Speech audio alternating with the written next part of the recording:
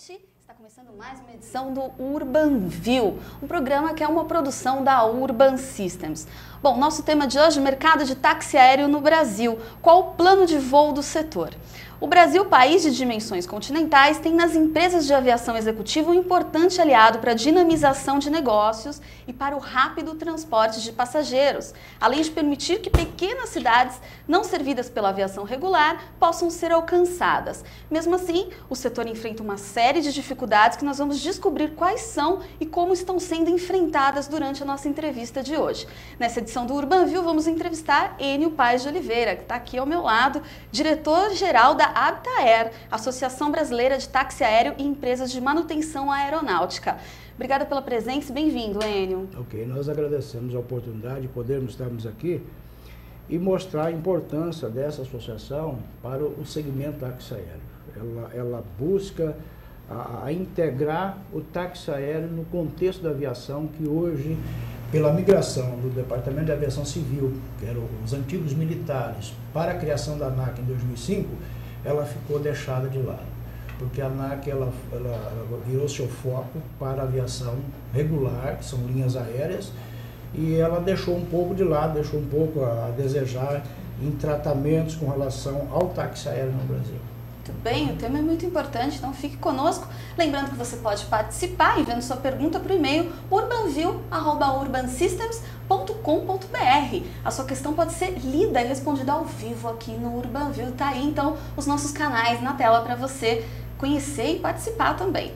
Outra forma de você participar por meio da nossa enquete do dia, que você volta lá no site da Urban Systems, urbansystems.com.br. Lá no final do programa a gente traz o resultado para você e o Enio vai comentar um pouquinho. Pergunta de hoje: como você avalia a importância do táxi aéreo no Brasil? Primeira opção, fundamental em um país tão grande. Segunda opção, importante, mas para atender segmentos específicos. Ou terceira opção, relativa, já que a aviação regular atende bem a maior parte do país. Eu aguardo a sua participação, como eu disse lá no finalzinho do programa, a gente traz o resultado para vocês.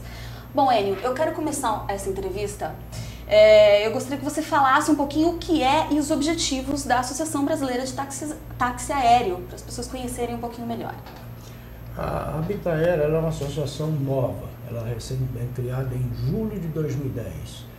Ela surgiu de uma necessidade, na, na ocasião, a Federação dos Bancos, a FEBRABAN, ela mantinha, ela fez uma licitação de 77 aeronaves full-time para transporte de malotes dos bancos, no âmbito nacional.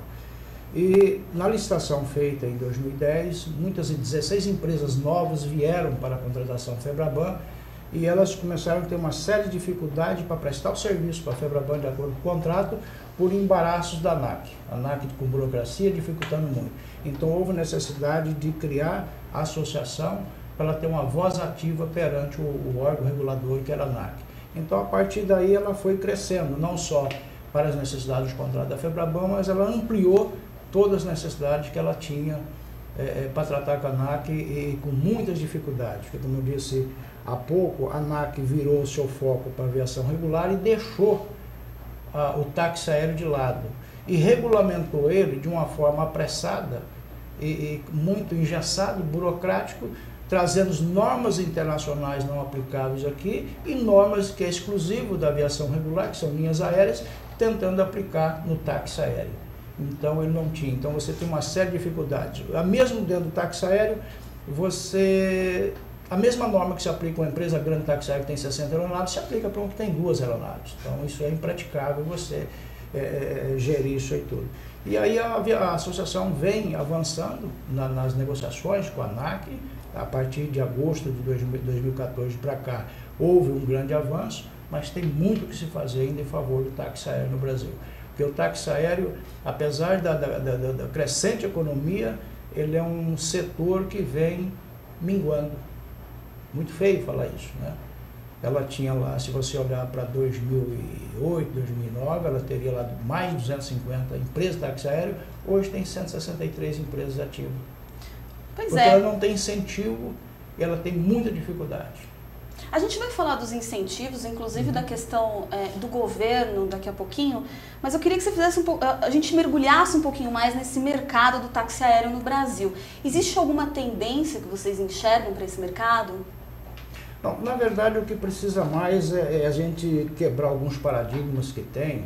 Inclusive, é, é, é, estranho, mas se você for dentro do Congresso Nacional, como nós já estivemos lá, você ouvir de deputados e senadores que o táxi aéreo é para luxo, para executivos de, de, alto nível, quando na verdade, é, é, se você olhar pela média nacional, apenas 5% do faturamento de uma empresa de táxi aéreo é ligado para transporte de, de, de, executivos, de famílias a passeio e altos empresários. O que, na verdade, ela tem uma atividade muito importante dentro do contexto nacional, que é a utilidade pública, que as pessoas não conhecem. Ele pensa que um táxi aéreo é para tra transportar abastados, não é. Ela tem utilidade pública muito grande. É, é, às vezes as pessoas hoje não entendem e não vê, isso não é propagado, por exemplo, é muito comum você vai no norte do país, centro-oeste, nordeste, e aqui no, no, sul do país, sudeste também, o transporte, por exemplo, de UTI aérea, que chama o aeromédico, transportando passageiros em, em estado de UTI, aeronave preparada para transportar, ela precisa ser homologada para aquele fim, ela transporta com passageiro, um acompanhante e um médico e enfermeiro a bordo, fazendo órgãos para transplante, são transportados então você tem, por exemplo, você tem o offshore na parte de petróleo, petrolífera, que é onde aquilo lá só funciona porque existe aviões todo dia levando e trazendo funcionários das plataformas para elas funcionarem. Usinas hidrelétricas também, os ribeirinhos no norte do país, você tem também o Ministério da Saúde, que é muito importante nesse contexto. Você, que eu falei, o transporte de malotes de bancos, Malote dos Correios também, só chega a correspondência, só chega a compensação dos bancos no norte do país porque há um envolvimento direto, diário do táxi aéreo, do transporte das pessoas. Todas essas pessoas citadas são participantes da Habitaer, ou podem ser participantes da Habitaer, é isso? São, podem participar. São, são, as empresas de táxi aéreo, porque hoje, para você se tornar uma empresa de táxi aéreo, ela requer uma homologação, que ela é regida pela RBAC 135, é o Regulamento Brasileiro da Aviação Civil 135, é específico para ela, e ela é complexa, não é assim da noite para o dia que você abre uma pessoa jurídica, compra aviões e coloca para voar, não. Ele às vezes demora seis meses até um ano para ter autorização para começar a funcionar uma empresa de táxi aéreo, é bem complexo. Você acabou de citar o Sul também. Bom, transportar pessoas, cargas, valores com rapidez e horário marcado é o mundo ideal para qualquer negócio. Existe algum estado que sai na frente na questão do táxi aéreo? Eu gostaria até de arriscar um estado, São Paulo, né? Que, que é essa correria, as pessoas querem fugir do trânsito, querem transportar as coisas cada vez mais rápido. Eu estou certo? Sim, mas é, o estado de São Paulo, por exemplo, principalmente no Grande São Paulo, essa região toda aqui, o, o, o, o, tipo de aeronave são diferentes das outras regiões, que é o chamado asa rotativa, que são os helicópteros, que é muito forte. Quando você vai para o Nordeste, para o Norte, Centro-Oeste, então você tem as aeronaves de asa fixa de todos os portos para aquela região lá para trabalhar. Muito bem. Bom, eu tenho aqui dados que o setor movimenta 3,5 bilhões, segundo estimativas feitas pela própria Associação Brasileira de Táxis Aéreos. E engloba 240 companhias, de acordo com dados, inclusive, da Agência Nacional de Aviação Civil, ANAC. É isso? 245? Pois é, 240 companhias, de acordo com dados da Agência Nacional de Aviação Civil. Muito bem. É, quem é o público-alvo desse, desse segmento? Você estava falando sobre a questão do mercado de luxo, que vocês querem descaracterizar esse mercado como hum. não sendo mais um mercado de luxo. Conta um pouquinho para mim sobre isso. Não, é, é, é uma necessidade básica do desenvolvimento do país. Você tem todas as regiões que você precisa locomover pessoas, pessoas para eh, trabalhar em empresas que nem grandes hidrelétricas, que nem eu falei, offshore. Você tem pessoas que precisam ser transportadas por questão de enfermidade eh, emergente, órgãos para transplante. Se o transporte de, de, de malas e cargas do, do, dos correios não fosse o táxi aéreo, hoje você teria uma calamidade para essas correspondências chegar em todas as regiões do Brasil.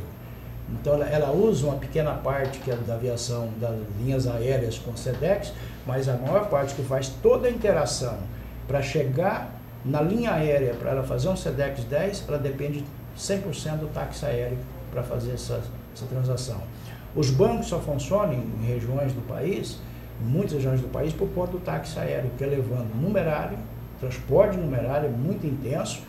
Ele também tem o transporte dos malotes e correspondências e cheques de compensação dos bancos também. Então ele tem peças automotivas, às vezes uma peça que chega de um estado para outro, de uma região para outra muito rápido, é por conta, por trás disso está o táxi aéreo funcionando, trabalhando para fazer. Muito bem, para a gente entender um pouquinho também como é que funciona a questão do táxi aéreo, a cobrança da tarifa, como é que ela é feita? Ela é um cálculo aeronave versus quilometragem voada versus passageiros? Uh, a pista de chegada também interfere nesse valor? Você tem visto melhorias nesse sentido? O, o, o, táxi aéreo, quando você fala em tarifas, ele, ele é diferente da, das linhas regulares da passagem CEPAC. Ele tem o que nós chamamos de tarifa aeroportuárias. Tá? Ela é composta uma parte para infraero, que é a estrutura, o pouso de uma aeronave, a permanência no pátio do, aeroporto, e você tem a de comunicação, que é do DSEI, da aeronáutica, ou seja, são comunicação de aproximação de aeronave, são comunicação de estabelecimento, como é que está uh, o, o, o, clima na, na, ponta, na outra pista que ele vai, a meteorologia, enfim, e todo o direcionamento. Então ela é cobrada por esse aspecto. Agora, os aeroportos são classificados em, em quatro categorias, e também tem as, dentro das categorias tem as classes que vai de A até F. Isso interfere no valor da tarifa. Se você for posar, por exemplo, em Brasília, ele é de primeira, primeira classe, primeira categoria. Se já em Goiânia já é segunda categoria. Tem outros aeroportos de, de praça do interior, já são quatro. Então os valores são diferenciados. Mas há de se destacar é, o táxi aéreo, como sempre, amargando os descasos dos órgãos governamentais, comparado com as tarifas de 2010 para 2013, ela teve um, uma elevação, uma majoração só de 400%. Só isso. Né? Ela passou que ela representava 3,5% do total do faturamento, do custo de um, de um voo, você, você calcula o custo. Lá em 2009 ela custava 3,5%, representava em tarifa aeroportuária, hoje é 11%. Esse custo. Muito alto. Uau! Bom, existe um gargalo de infraestrutura física que dificulta a operação do táxi aéreo. Os aeroportos do Brasil estão prontos e auxiliando para o crescimento do setor de táxi aéreo? Não. Não, porque é, a aviação regular hoje, ela, ela atende em torno, em média, 130 aeroportos, cidades. E o táxi aéreo chega em aproximadamente 3.500 cidades. Uma diferença muito grande. Só que nós temos nesse meio caminho, principalmente em todas as regiões, sudeste, região norte do país, centro-oeste, principalmente as regiões, pistas que são suspensas e depois ninguém adota nenhuma providência, ou seja, a ANAC vai lá, vê que tem uma cerca irregular, um poste, uma árvore, ele suspende aquela pista. Mas simplesmente suspende, burocraticamente, e deixa a cargo do governo do estado ou municipal a tomar aquelas providências para eles reverem. Então, se alguém não vai lá cobrar, incentivar o município, incentivar o prefeito, a, classe política, as associações de classe, de que o, o, a aviação naquele local é, ajuda no desenvolvimento, ninguém faz nada e a pista fica. Como é que é feito isso? As entidades de classe, como a Habitaer, a sociedade como um todo pode cobrar esse tipo de coisa? De que forma? Pode cobrar na, na, na região dele, se ele sabe que lá tem uma pista, tem um aeroporto e que ele está suspenso, parado, eles podem cobrar. Eles podem cobrar a própria ANAC, que é a responsável e a gestora também, porque não é só o que a ANAC está fazendo. Vai lá, interrompe, suspende, e depois ele não faz mais nada, porque de uma certa forma é a administração federal que é responsável por todos os aeroportos. Porque você tem dois níveis de aeroportos, você tem os aeroportos privados, que são de propriedades particulares, e tem os públicos, que são todos os aeroportos de responsabilidade do governo federal embora a administração é do governo municipal, mas ele tem a sua responsabilidade. Pois é. Recentemente o governo anunciou um programa de investimentos em aeroportos, é, com previsão de aproximadamente 7,3 bilhões na expansão da aviação regional. Como é que a Aptaera avalia né, os planos do governo para a aviação regional?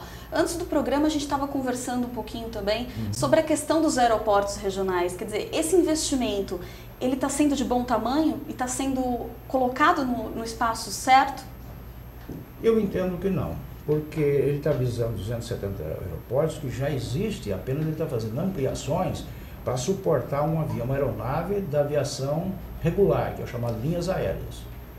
Dá um exemplo, você tem um aeroporto que hoje ele consegue você pousar com King, com Caravan, ele precisaria passar a posar com uma TR-72, já uma nave de porte, ele precisa ter uma ampliação da pista, melhorar a pista, melhorar a segurança, sinalização, ou seja, uma série de infraestrutura precisa ser melhorada ali. Então, isso para o táxi aéreo não, não altera em absolutamente nada. E o que a gente tem que entender é que, na verdade, na prática, quem exerce a função de aviação regional no nosso país é o táxi aéreo. Ele que exerce a aviação. Porque também, quando fala em aviação regional, você tem as linhas aéreas regionais. Mas dentro do segmento táxi aéreo, que é, é autorizado pela ANAC, exige o que ele chama de LAS, que é Linhas Aéreas Sistemáticas, ou Ligação Aérea Sistemática. O que é isso? São empresas de táxi aéreo que também fomentam linhas aéreas regionais, também fazem. Vamos dar um exemplo. Você tem empresas que fazem linhas aéreas Belém, eh, passando por Santarém, Itaituba, Novo Progresso. Tá? Toda aquela região norte do país são atendidas por empresas de táxi aéreo que tem. Você vai no estado do Mato Grosso, por exemplo, você tem empresas saindo de Cuiabá, que vai até outra floresta, outras regiões, fazendo linhas regulares, todo dia, no mesmo horário, vendendo passagem, que é permitido por esse sistema de linhas aéreas sistemática, feita, praticada pelo táxi aéreo. Então, por isso que eu digo, quem na verdade faz a aviação regional no país é o táxi aéreo. Bem, você é, tocou num ponto importante e eu queria saber como é que a Habitaera avalia a questão do transporte aéreo clandestino no país. É, eu dei uma olhada recentemente também em alguns números e hum. parece que existe uma discussão é, forte também nessa questão da clandestinidade e quem pode taxiar. Conta um pouquinho para mim. Olha, eu, eu vou falar para você, é, é, é, eu vou falar é uma coisa um pouco forte. Você perguntou para mim como é que, como é que a Bitaera avalia esse, essa questão. É a mesma coisa que a segurança pública avaliou os morros no Rio de Janeiro. É bem, bem por aí. Porque isso é, ele é, é um segmento hoje nocivo. A sociedade, por falta de fiscalização da ANAC, por falta de disseminação, muitas pessoas estão fretando uma aeronave pensando que é táxi aéreo e não é. Não é táxi aéreo é o chamado piratas, que alguns falam, mas nós tratamos como TAC, que não é táxi aéreo clandestino, porque táxi aéreo nunca é clandestino, ele é homologado e regulamentado. O que existe é transporte aéreo clandestino. E ele vem crescendo em todas as regiões do país. Aqui em São Paulo mesmo, você pode no aeroporto de Congonha, tem quem vai te fretar um jato ali para você fazer e é particular. Qual a diferença de um para o outro? O táxi aéreo é regulamentado, tem uma burocracia muito rígida, que proporciona até excesso de segurança. É, é, é estranho falar, né? segurança não tem excesso, mas é o que acaba acontecendo. Por quê? Eu, para mim ter um táxi aéreo, o tripulante, o piloto, o copiloto, ele tem que ser meu funcionário. Ele recebe uma carga de treinamento muito forte. Mesmo que ele é, a gente costuma brincar, mesmo que ele é neto do Santos Dumont, todo ano ele tem que ser treinado é, esse, algum tipo de aeronave tem simulador no exterior e está constantemente sendo treinado. A questão da manutenção é rigoroso. Se pegar, por exemplo, um Seneca, ele tem a cada 50 horas, ele tem que parar a aeronave, fazer a manutenção, depois outro ciclo de 100 horas, de 500 horas, 200 horas, 500 e vai assim até fazer o overhaul do motor, que é fazer o motor dele inteirinho. Então é muito rigoroso. Se a aeronave parou com 51 km, a ANAC já interfere no processo da empresa. Ou seja, é muito rigoroso isso aí, então tem que fazer a manutenção. Ele tem todo um controle de operações que ele faz. E o clandestino não. Ele pega a aeronave dele, particular, pega um piloto. Outra, outro detalhe importante também, quando eu estou falando de tripulação, para cada modelo de aeronave, ele tem que ter uma habilitação. Ele não pode ser piloto de um Scenic e aí depois amanhã ele sai voando um King, um Caravan. É diferente, ele precisa passar por um processo de treinamento, submeter a ANAC, ser checado um checador da ANAC ou da aeronáutica, que vai lá, voa com ele, fala ele está apto, aí sim que ele vai ser habilitado para fazer. Enquanto que esse TACA, ele pega freelance. Muitas vezes ele não está habilitado para aquela aeronave. Ele não sabe fazer. A manutenção não tem controle nenhum. Ninguém sabe como foi feita a manutenção daquela aeronave. Eu não estou dizendo que é 100%, mas uma grande parte é assim. Então, é um voo inseguro. A outra questão, por exemplo, uma tripulação do táxi aéreo, ele tem uma lei muito rigorosa com relação à jornada de trabalho dele, que a gente chama no, no, no, no termo adequado para eles, que ele pode regulamentar, ou seja, se ele tiver, a hora dele estiver vencendo, ele está em Belo Horizonte, tem que vir para São Paulo, que é mais uma hora e meia de voo, ele não decola de Belo Horizonte, tem que mandar outro piloto para trazer a aeronave, por questão rigorosa de regulamentação. É muito forte, muito rigoroso. Porque aí vem a fadiga, vem uma série de coisas que interferem no risco da aeronave. E esses não, esse o cara pode voar. Você vê, vamos dar um exemplo, aquele piloto do, do, do ex-candidato a presidente em Santos, se você ver, foi muito claro, muito publicado, que ele estava em estresse e fadiga, portanto, voar. voar. Então, esses são alguns riscos que eu citei que expõem as pessoas. Sim. E o, mas o contratante, de alguma forma, ele pode solicitar um documento, enfim, para se precaver de, de fugir desses piratas, é isso? Tem. Na prática acontece ou não? Ninguém não, não acontece porque não há divulgação. Eu tenho, se você pegar meu celular e você me der um prefixo da aeronave, eu falo para ele quem é o proprietário e se ela é particular, privada ou se ela é táxi aéreo. Aqui no celular, qualquer cidadão pode baixar esse aplicativo e eu vou fretar, olha, está lá o prefixo da aeronave, o PT e tal. Eu jogo e ela vai me falar. Por que não tem essa divulgação? Quer dizer, se é um mercado de alguma forma cresce ou uh, ganha um expoente, né? Por que, que não acontece essa divulgação desses espaços? Porque essa, essa área proliferou muito. Por muita ação muito forte da Bitaer, nós conseguimos que a ANAC criasse uma gerência de fiscalização e que agora está se estruturando para começar a fazer. Então, ela, se você for no site da ANAC, ele já tem lá alguma coisa falando os cuidados que você tem que tomar para contratar. Mas ainda é tímido a ação deles que fazer. E agora, o que é pior ainda, o que incentiva eles? Além de toda essa insegurança, eu comparei táxi aéreo com eles, tem a questão também, se eu tenho um, um, um piloto contratado, eu tenho um custo muito alto. Trabalhista, enfim, tudo que eu tenho que ter em folha de pagamento. Se eu tenho a manutenção regular, eu tenho um custo muito alto. E ele não tem nada disso. Ele, ele tem, ele, por exemplo, se você for fazer as contas mesmo, o, o, custo de um voo dele representa 60%, 70% do custo de um, de um voo normal pela empresa regulamentada, pela empresa homologada, que é o caso do táxi aéreo. Então isso, isso vem favorecendo. É, é, nós, se você pegar em bom, mais ou menos 2008, é, em média nacional, 20% do total do faturamento uma empresa táxi aéreo era destinado a transporte de pessoas. Eu não digo pessoas de contrato, que nem para levar para um, um offshore, uma plataforma petrolífera, para usina hidrelétrica em construção. Mas digo pessoas fretando aeronaves para voos executivos, para suas necessidades, ou até para lazer. Hoje isso caiu para 3%. Com quem que ficou a outra fatia? Crescente, crescente, crescente. Com a clandestinidade. Com a clandestinidade. Né? Mesmo assim, as pessoas preferem, quer dizer, é, pegar o clandestino, que sabe que não tem é, tanta uns, uns a segurança que tem é. o regulamentado. Uns não sabem que eles estão uhum. pegando clandestino e outros até sabem. E como que a ANAC deve fazer? A hora que ele pousa, que é o chamado, aquela operação de rampa, chegar e caracterizar ali que era um voo clandestino. Mas ele já sai na origem orientado pelo quem contratou ele e, e confirmado pelo, muitas vezes pelo piloto, dizendo, se perguntar, você está passeando, a gente deu uma carona para você, não tem nada disso. Uau! Como é que o setor de táxi aéreo vê questões das tarifas aeroportuárias e a burocracia, enfim, a morosidade que a gente sabe, inclusive da ANAC, que a gente tem conversado aqui, inclusive no Urbanville. Como é que a associação tem visto isso? O, a burocracia da ANAC, eu costumo falar por essa parte, que é a mais pesada, a mais difícil. Para você ter uma ideia, é, eu, nós conseguimos no final, em agosto do ano passado, algumas tratativas com a diretoria, a presidência da ANAC, o Marcelo dos Guaranis, e a partir lá nós já tivemos cinco reuniões para tratar especificamente de uma série de dificuldades. Uma das dificuldades que nós temos são prazos de atendimento. É, hoje a ANAC, para você, quando eu pego, compro uma aeronave, eu tenho que pegar essa aeronave, toda ela preparada, ela tem que fazer, sofrer uma avaliação, uma inspeção, ela está ok, ela não está ok.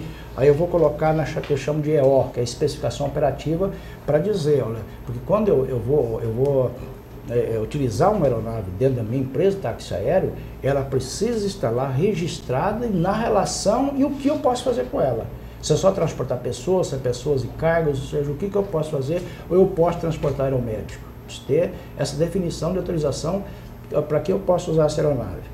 E não trabalha. Quando eu já tenho o mesmo modelo de aeronave na frota, ela é um pouco mais ágil. Quando eu não tenho, é mais demorado. Mas é, eu fiz um levantamento para a ANAC, por amostragem, e deu 343 dias, em média, para colocar uma aeronave.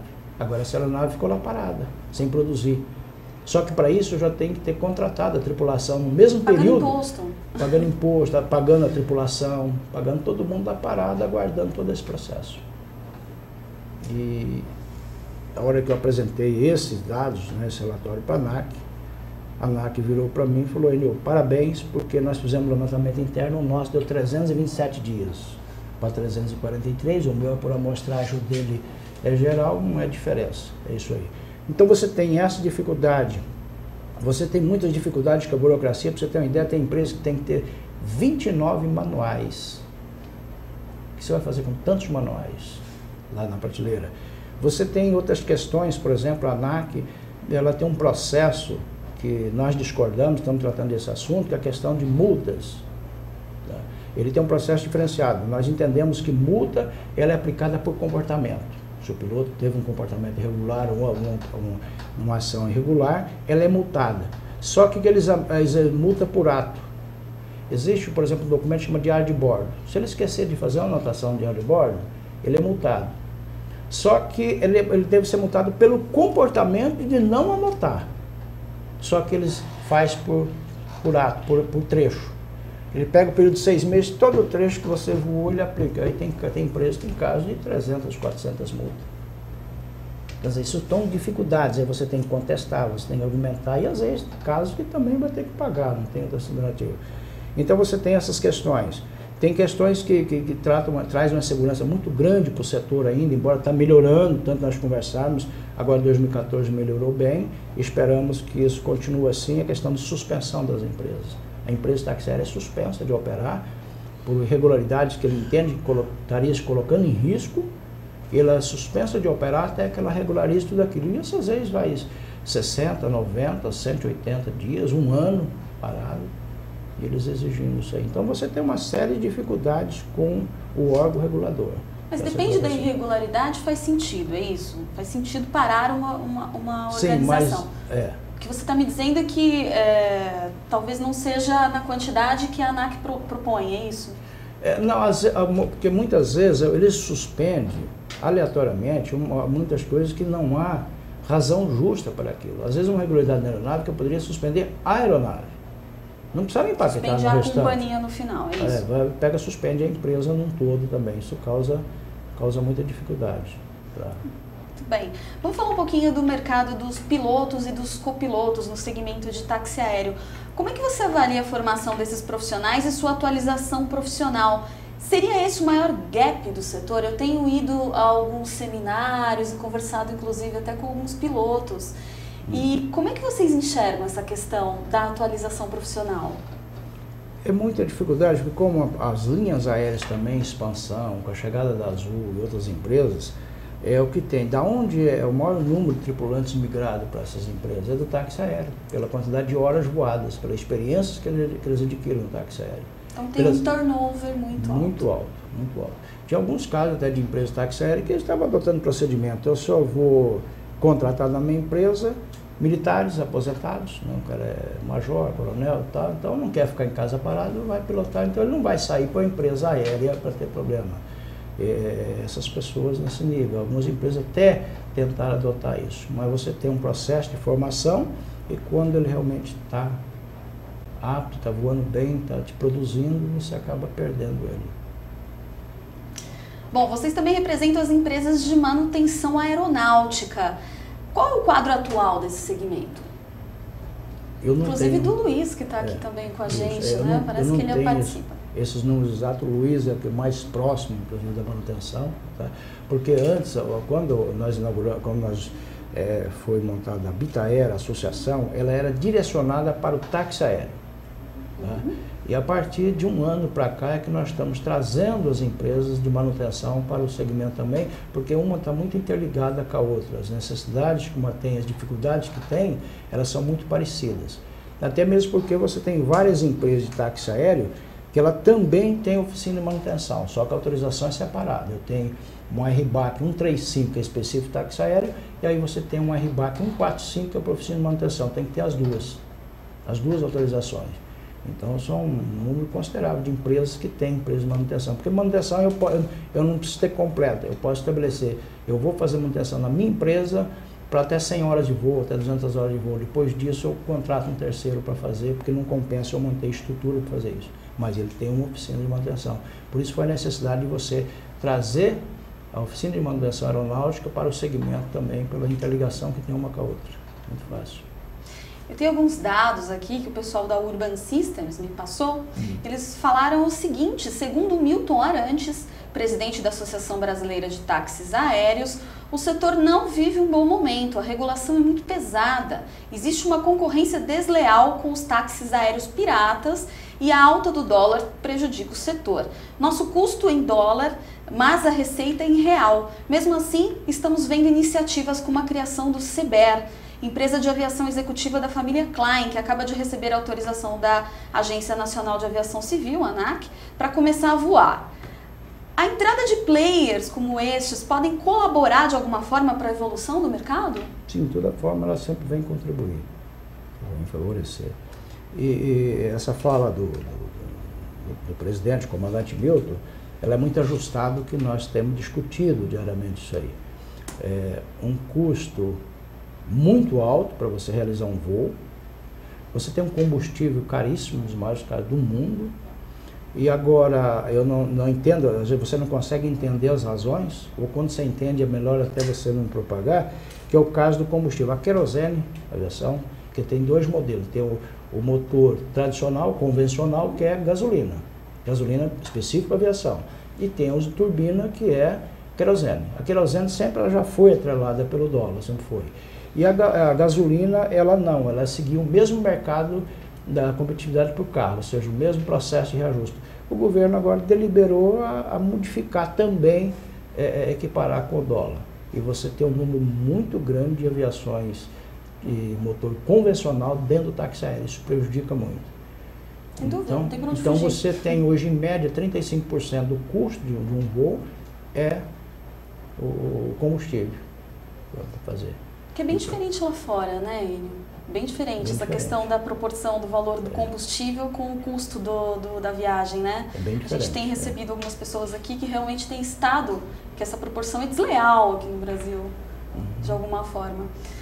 Bom, a gente está chegando ao final do Urban View e eu vou aqui ao resultado da nossa enquete. A pergunta que a gente fez, como você avalia a importância do táxi aéreo no Brasil? 8% disseram relativa, já que a aviação regular atende bem a maioria, a maior parte do país.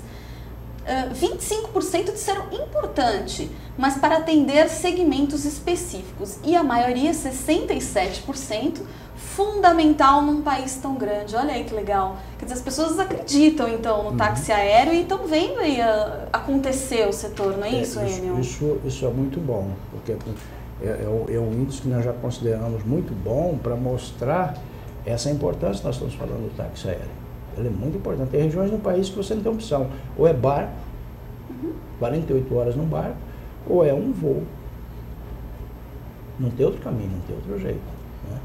Né? É que nem agora você está vendo aqui, enquanto nós estamos em seca aqui, o Rio Madeira está voltando a encher lá. Quando o Rio Madeira encher, aí dificulta tudo lá, é só avião mesmo, não tem outra, outra alternativa para muito bem. Para andar no país. Enio, eu queria que você deixasse o site da Aptaer para o pessoal conhecer e entrar. Eu vi que vocês têm bastante, muita informação interessante lá. Passa para gente.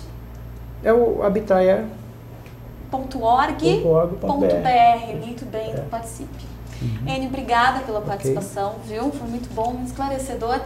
E não perca o próximo Urban View, onde vamos conversar com a Ana Carla Fonseca Reis, idealizadora do Garimpo de Soluções, sobre cidades criativas. A Ana venceu o Prêmio Cláudia 2013 em negócios e foi apontada pelo jornal É o País de 2013 como uma das oito personalidades brasileiras que impressionam o mundo. Não perca, eu te espero na próxima quarta, dia 4 de fevereiro, às 17 horas, acessando o Urban View, www.altv.com.br. Até lá!